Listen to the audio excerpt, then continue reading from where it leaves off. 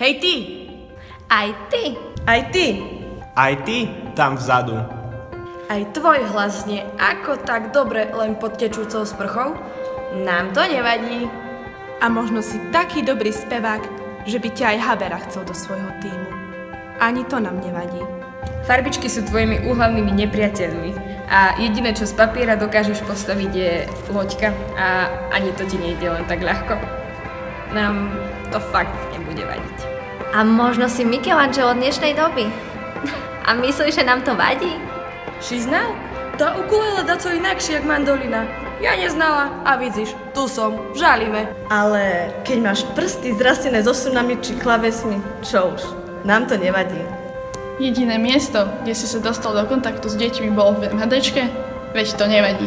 No a je to aj šanca, že si animátorom už od čias dinosaurov. Ver mi, nebude nám to prekážať. Všetko, čo potrebuješ? Je ochotné srdce? A láska k deťom. Tak neváhaj a priplávaj do týmu detských katechéz A preži rok s úsmevom na tvári.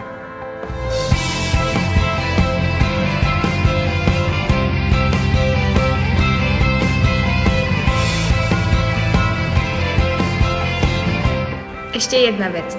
Za opýtanie nebijú, tak sa zastav pri našom stánku a tam sa dozvieš všetky potrebné informácie. Tešíme sa na teba.